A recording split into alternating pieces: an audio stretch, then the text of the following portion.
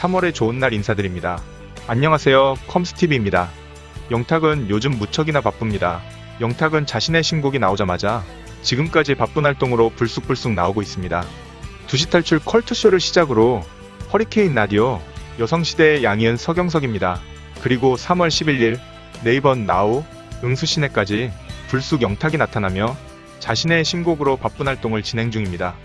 3월 11일에 진행한 네이버 나우 응수시내는 우주대 스타들이 출연을 예고하며 많은 이들의 관심을 주기도 했습니다. 바로 영탁이 출연을 하였습니다. 응수시내는 네이버 나우에서 진행하는 프로입니다. 지난 10월 10일 김웅수의 진행으로 첫 방송을 시작해 월요일부터 금요일까지 오후 3시에 진행합니다. 영탁이 출연하며 폭발적인 반응이 상당했습니다.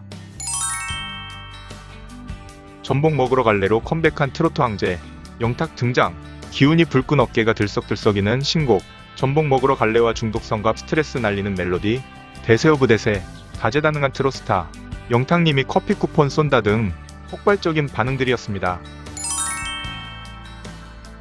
영탁은 첫 등장부터 대단했습니다. 영탁은 김응수 사장에게 전복죽도 사줄 수 있고 로또 번호도 불러줄 수 있다며 등장했습니다. 영탁은 번호 7개 중에서 4개가 맞았고 자신의 고향 안동에서 1등과 2등이 당첨됐다며 김웅수에게 자랑했습니다. 영탁은 박수칠 때 떠라라는 말이 있듯이 이날은 로또 번호가 없었습니다. 영탁은 전복과 장어 중에서 사실은 장어가 맛있다고 털어놨습니다. 하지만 요즘은 자신의 노래 때문에 전복을 더 좋아해야 할 것 같다고 했습니다. 영탁은 팬들에게 받은 소주색 마이크를 가져왔습니다. 영탁은 자신의 이력서를 김웅수에게 전달했고 김웅수는 영탁의 필체에 감동했고 명문고등학교를 나왔다며 칭찬을 해주었습니다. 영탁의 이력서를 살펴보면 이름은 박영탁, 1983년 5월 13일생, 별명은 리듬탁 전보강자, 취미는 작곡, 특기는 축구 게임, 요즘 나의 소확행은 작곡, 뭐뭐 하러 갈래는?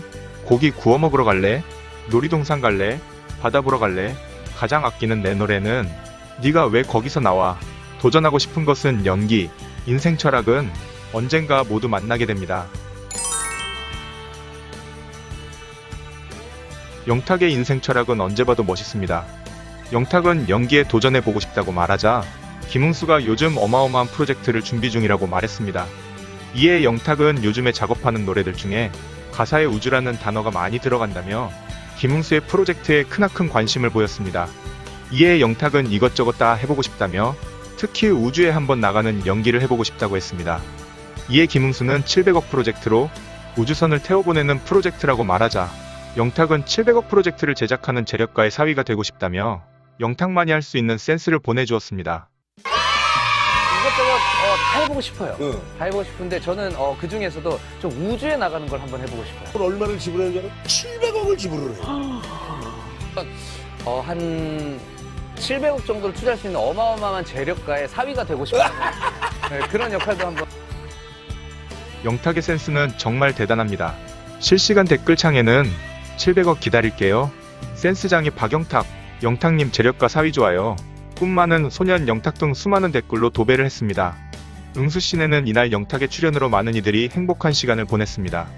영탁은 자신의 실력 있는 연기도 보여주며 김웅수 사장의 신임을 100% 얻었습니다. 마지막에 김웅수는 영탁에게 영탁아 우주 갈 생각 없냐 라며 묻자 영탁은 우주 갈 사람이 어떻게 지구에서 일을 합니까? 우주 데려가 주시면 생각 한번 해본다며 재치 있는 답변으로 김웅수의 면접에서 수석 합격을 하게 되었습니다. 영탁의 재치는 참으로 대단했습니다. 영탁은 이날의 방송에서 김웅수의 엄지척으로 마무리를 했습니다. 참으로 영탁한 영탁의 하루였습니다.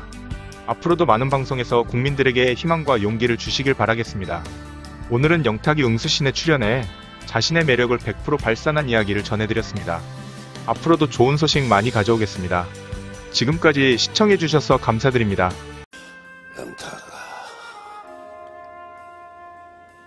밑에서 일해볼 생각 없냐? 우주 갈 사람이 어떻게 지구에서 일을 합니까? 뭐, 우주 데려가 주시면 생각 한번 해보겠습니다.